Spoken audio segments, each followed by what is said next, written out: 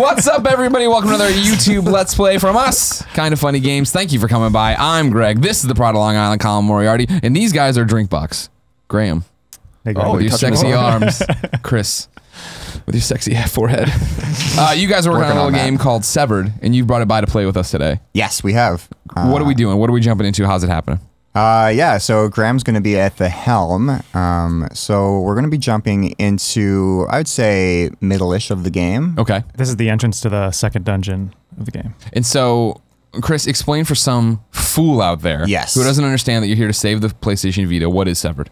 Yeah, I mean, if you haven't been following Severed closely, I couldn't imagine why. Um, so what Severed is is a first-person dungeon crawler. Yeah. um, which has touch-based combat mechanics, and so the game is uses tactile combat, and it's a mix also with a dash of RPG in it. Uh, and so hopefully we can kind of give you a broad idea of all these different aspects uh, during this let's play. Gotcha. So yeah, I mean Graham's jumping right into it. Um, this is the combat. So the game's very heavily focused on combat, and it's really important about uh, pairing your enemies, trying to find the right openings when you can attack, um, and managing different enemies and certain aspects like that. Gotcha. Yeah, So, and it's the direct sequel to Guacamelee. yeah. So you can you can tell the art style's the same. Why do you guys like to do so much different stuff? Um, Mutant Blobs to Guacamelee to this. Yeah, for sure. I think it for us it just keeps things fresh. You know, we're a small team and Guacamelee took a few years and I think just going right into something again that's the same is just tiring. You sort of run out of good ideas. Sure.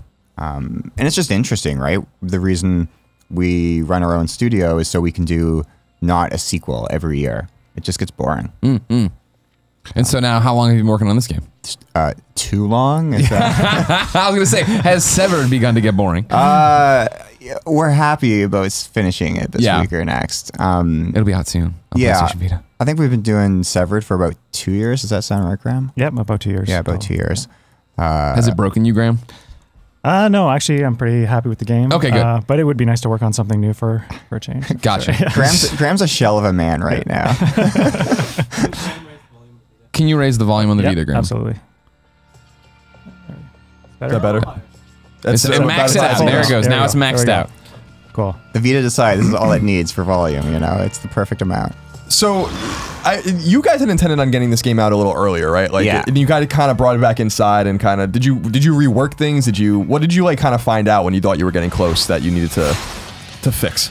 Yeah, I mean, I think it's sort of you hear it for a lot of other games too, where you have a original idea with a prototype and it's good and it's fun, but then you, sometimes it's tough to predict how you're going to make that into a larger game and to give it legs, right? Because I mean, our biggest fear is to make a game where it doesn't get interesting the longer it goes into because that's really easy to do right, Right. you have one single good idea but it's tough to expand it Right. and build upon it so i think we just didn't appreciate how long that was going to take um, and again we want to do that well because we don't want to disappoint people Yeah, I'm, I mean, I'm super excited about it. I like that you guys are doing something different. We were kidding around before we started recording that, you know, a lot of us want Guacamelee too. Yeah. But um, it's important to keep you guys fresh and keep you guys ready to make games. I'm sure you have new ideas and what you want to do next after this. sure Um, are you? Uh, how do you guys feel about releasing this game on Vita? Um, you know, you guys have been really prominent supporters of the Vita and found great success at the launch of Vita with Yep. Mutant Blobs, and then Guacamelee obviously did very well on Vita. I believe Yeah, the other media has deemed you saviors of the Vita. yeah the, the word saviors gets thrown around quite a bit Yeah, it's weird. yeah I, How, how do you? Are you guys like kind of bullish about this? Because I, I do feel like you know you guys gave a speech at GDC some years ago actually about the success you found on Vita and that there i like even though the, the user base is small that people do buy games on this platform. So are you hoping that those same people that supported Guacamelee and supported Mutant Blobs will come back to the well or whatever, plus some new people? Yeah, well, we hope or we need people to come back to it. Uh, yeah, look, I mean, for sure, the original titles we put out on Vita were awesome, uh, reception-wise, and also the numbers we pushed on it were great. Um, again, back then, Vita users tend to be really hardcore and buy games. Right now they are too. I- I- I'm hoping that's still the case, right? Yeah. Uh, you know, you hear the same story. People say, we love our Vita. They're like, oh, but it's on the bookshelf and it has to get charged. Covered in dust. Yeah. and the other, and the firmware. Yeah, I know. Oh, you've I've talked to the to these same people. So if people are just willing to put up with one update on their iOS, on their OS probably, and then it gets severed, that'll help a I lot. think the joke always is is that they they're collecting dust because there's nothing they, there's nothing they want to Sure. play, right? All the JRPGs or whatever, or the little games that are just you know part of PS Plus or Taco Master aren't what they're looking for. Well, and I don't but think you they're and your not wrong. credibility, yeah. Uh, yeah, they're not wrong, and I think we're hoping to bring that right. Uh, and it's it's a fun plat it's a fun uh, piece of hardware to work on, and it looks so good severed on the device. Um, yeah, I just hope uh, people come back or people remember that they own a Vita, and uh, and the community's strong out there. We just hope they're not too busy doing other stuff. Yeah, the PS I Love You audience are, you know, for our podcast, uh, you know, that you guys probably listen to if you're watching this video, uh, I think are certainly excited about this game. We'll certainly be talking about it on the show and playing it Yeah. as soon as we can. Well, that's Um, what's weird about it is I think it's another. It's similar to what I, I was talking about with the division this week, right? That on paper, I don't think I should be interested in this game. Right. You know what I mean? Like, oh, it's a touch game and it's this first-person RPG, and I'm crawling around. Like, eh. Yeah, yeah. And then when I sat down and played it that first time at PAX, seemingly five years ago, I was like, wow, like this is fun. I want to play this. You know what I mean? And every time I played it since then, it's a little bit deeper because originally it was just these kind of slashes, but then Yep. it was introducing not the puzzle so much, but you know, how do I get to the weak spot on this character? Well, I have to do this, that, and the other. Yeah, I, I think for us, at least with Severed, we we like to believe we're bringing something really fresh and new, something that hasn't particularly been seen before. Yeah. Um, for us, that was part of the challenge, and I think with Severed, uh, the combat itself, you sort of raised the point. It's really interesting. It's about managing multiple enemies, trying to find the right weak points, but also there's puzzles in the game. The exploration's pretty great. Um, the there's definitely RPG tech tree mechanic, right? So there's a tech tree that you'll get as the game progresses, and you'll be able to put in various. Uh, so basically, okay, when you kill monsters, they drop body parts, and you can sever them up, and you can use these various parts as a currency to upgrade various abilities. Um, we had bad timing here because I was hoping Graham would be able to open the tech tree, but Oh, Way I to go, can bring up the Graham. tech tree. God damn it. he's now fighting a million enemies. Uh, oh yeah, so here's the tech tree. Um, so as the game progresses, every time you kill a boss, you cut off a part of their body, Right. and what you can then do is wear that uh, that part of their body that you just cut up, and that unlocks a new tech tree. Um, it'll also give you a new ability.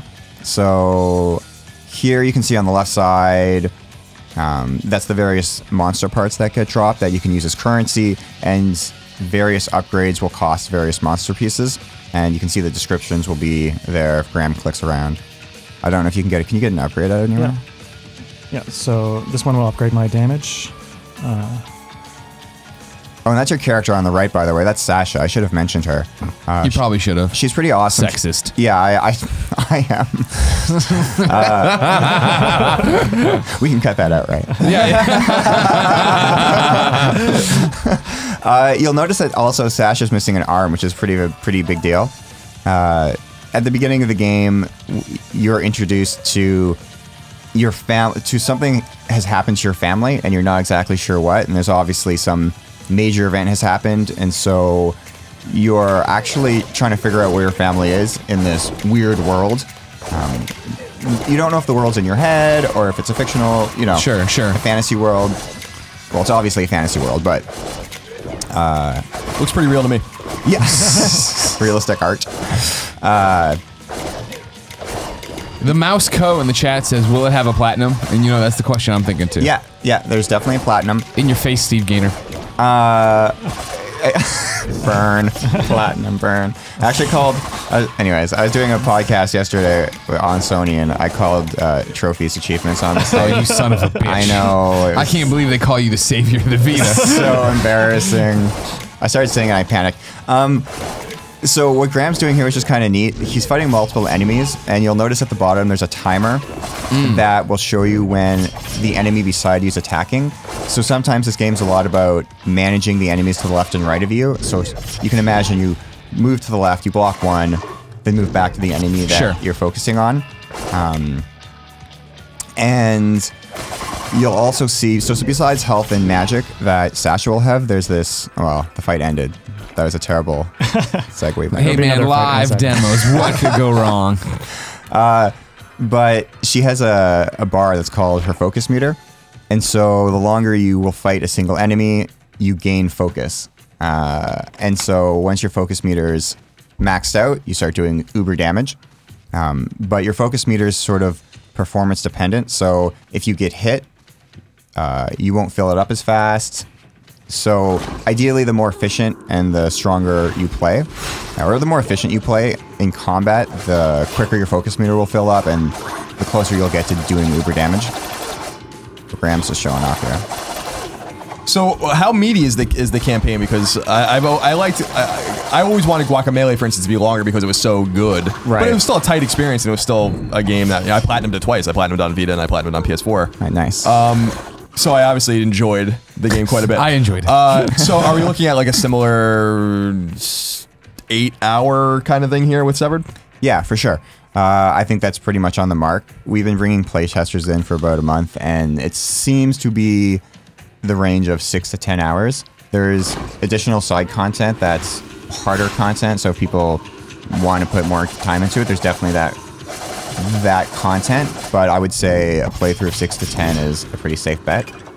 Um, and for us, that seems to be the sweet spot Sure. for I mean for us that's sort of the games we like to play too right Right. I mean we just don't have time to put in necessarily 40 hours in a game No, absolutely. and, and plus making a 40 hour game sounds really hard we don't want to do that Is there is there other than the side content or the kind of the option content? Is there a replay value? Is there is there a difficulty uh, sliders or anything like that that you can mess around with? Um, so we have uh, sort, sort of challenge dungeons that you can go back through um, and also the there's tons of secrets in the game so you can play through i would say but then there's lots of random secrets that i think would encourage you to have another go through um, and also it's it's a connected open world so i suspect there's going to be some interesting ways to try to run through the game efficiently or sort of speed run ways. Um, i'm kind of curious to see what people discover like the audience discover and do things that we haven't thought of. Because the game is it's kind of Metroidvania in a regards where it's gated at certain parts. So i'm personally curious to see how people break it and sort of as they replay it shortcuts that we Right. hadn't thought of because people broke the. Uh, Oh, they broke, the shit out of they Gu- broke the Guacamelee. sh- Yeah, they broke the shit out of it. um, we were at we did the speed run during the uh, the EGA stream at Twitch last year, and people came on and, sh- and broke the game right in front of us. I was like, I, I play. I, I thought I knew this game, but apparently I don't know it very well. It it's wicked. It's it's wicked seeing what people do and what they people are so smart. Gamers are really smart. Gamers are smart. Gamers, especially Vita gamers, Especially Vita. Vita the smart- gamers. Especially Vita games.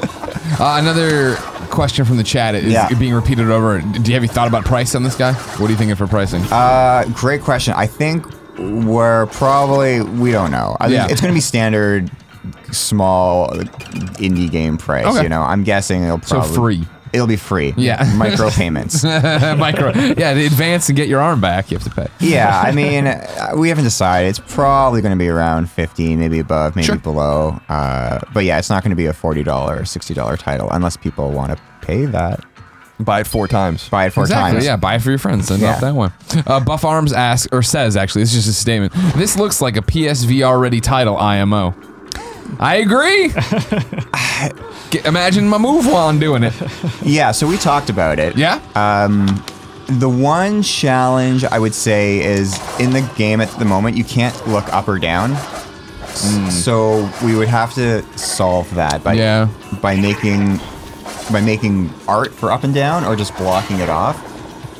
I was gonna say yeah, the assets probably don't even exist for for you guys to look necessarily look up and down anyway. So yeah, that would be a, a bigger challenge to just porting. Yeah, exactly. Yeah, I mean, one thing of note, which I think is kind of neat, is that so the game you're going between nodes, and every node itself is actually a giant cylinder that you're standing in the center of.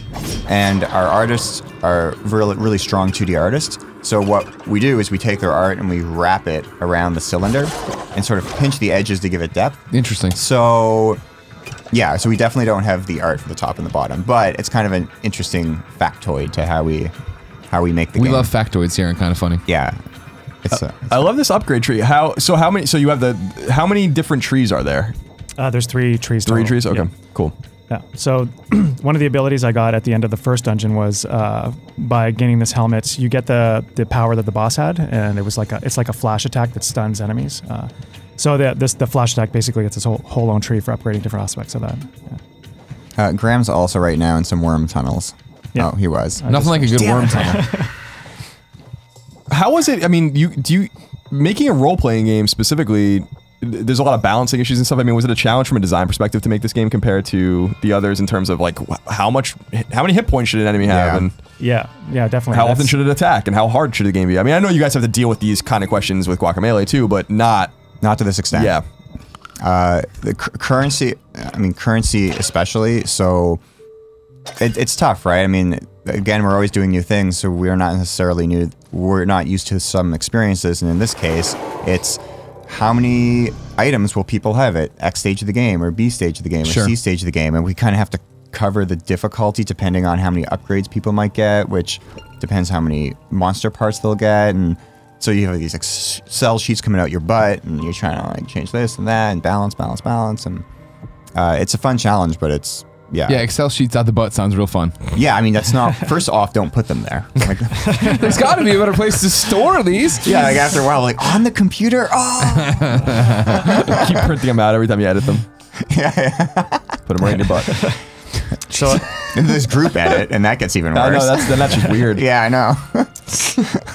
Uh, so here's a, here's an example of a, a way that we gate the player. Uh, you've seen these things in the world a bunch of times at this point, and I've just now uh, found something in this house that uh, it's a spine that I've attached to the back of my sword, Ah, uh, which lets you do a charge attack by holding your finger on the screen.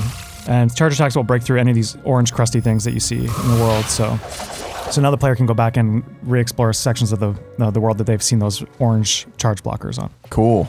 Yeah, can you pop up the map? Oh, never mind. This is, this is a good with example of you sh- using the charge attack to actually fight an enemy. So essentially, you had seen this enemy earlier. So this is sort of a, a stronger version where parts of them are guarded by that um, that armor material that J- Graham has to use his charge attack to break through. And now that he's done it, he's made uh, the enemy vulnerable for normal attacks. Uh, Here's the map. That's good looking map now. It, it looked way worse a month ago. Um, uh, so yeah, there's also different levels in the game. So there's multiple floors above and below. I was hoping to show that in the Yeah. map. Yeah, okay, there we go. Just in going back to another part of the oh yeah, that's way better. yeah. Um, so you kind of start to get the idea of how the game's made up of nodes and how they're connected. Uh, you'll have stairs going up, going down, portals going between. I'm just gonna turn on the to show where I'm touching, so it'll make more sense what's going on here. But you now that menu, of course, will be Oh, in the final version of the game. Yeah. yeah, all spoilers. uh, yeah. Yeah. So uh, again, a lot of the game is about exploration too, which is neat. I mean, I don't trust this woman already. She's creepy. Sonic the Hedgehog's grandma. not to be trusted. Wait, how do you guys know it's a woman? Uh, look at her Sexist. outfit. No, Stop trying to turn it around on us. listen, you're the one. This is my show. Cut the cameras. I can't wait to play this. I Yeah. had no idea you guys were this close to to, to submitting um, for cert. So yeah. it's exciting. Do you believe in it? I believe in it. Every time I talk to you, you're always like, ah, I don't know. Yeah. You know, Are you have you come around the bend yet? I have. Because I think it looks awesome. I think when you're making games, it's really easy to get s- stuck in the forest. I don't know Sure, the that happens to expression is. everybody. I think. Yeah. Yeah, you're like, oh, my game's shit. I hate it. And then finally, near the end, you say, oh, it's it's actually pretty Perfect good. ten. Saviors of the Vita. Yeah. Checkbox. Embrace it. Start signing your PlayStation blog post that way. You're right. Okay, done. From this point forward, we're savior. There's the Holy Trinity. There's you guys. There's Gio Corsi, and there's us. uh, yeah, we're, we're doing what we can. Um, so this is a character you'll see throughout the game. They will help you most of the time. Most of the time. Yeah. Who are you fighting now, Graham? So let's see. What else can I mention about this? So again, I mean, this bubble guy. If you maybe hadn't noticed, you have to sort of swing at certain areas. And the, well, can you cut off the arm? Oh, there you go. Uh, I can do that. Yeah. Yeah. So some enemies, for example, that strong arm, the one that Graham was just facing, and you can imagine do this and cut off the arm so you can deal with deal with that enemy later, and then focus on this enemy. Gotcha. So we provide players options to sort of disable an enemy temporarily and then switch back to deal with other enemies. And, so, and different players have different preferences to which enemies they like to kill first. Uh, so we give that option to the player. That's to awesome. Manage. Make your own strategy. Yeah, 100%. Yeah. Take on the enemies you want first. Yeah, so you can kind of see this metagame evolve. Yeah, this looks this looks so awesome. Right. I'm really excited about this game, and yeah, it was kind of kind of disappeared for a while, so you kind of almost like you know forgot it was coming soon. You know, like uh, it was always on the back of my mind, one of my anticipated Vita games, Yeah. but you just didn't know it was Well, we kept getting was coming. suckered to putting it into our anticipated Vita list. Yeah. 2015. We tricked you real good on that. 2014. 2013. 2009. before it was even being made. We had it. Vita As soon as they title. announced Vita, I was like, I can't wait for Severed. All right, so wrapping up, Yeah. you're the saviors of the Vita. Yep. You're submitting soon, so Severed will be on Vita soon. Yes. Anything else? Where should people be following you? Where should they be paying attention to Drinkbox? Uh, they can follow us on Twitter at Drinkbox Studios, um, Facebook Drinkbox Studios, and we post in our blog all the time. And yeah, check the PlayStation blog too because we'll be working with them Okay. when we get close. well, great. Yeah. Can't wait to play. Get it. Get home and get it out. Yes. Ladies and gentlemen, until next time, we are youtube.com slash Kinda Funny Games. Subscribe, like, share, and know it's been our pleasure to serve you.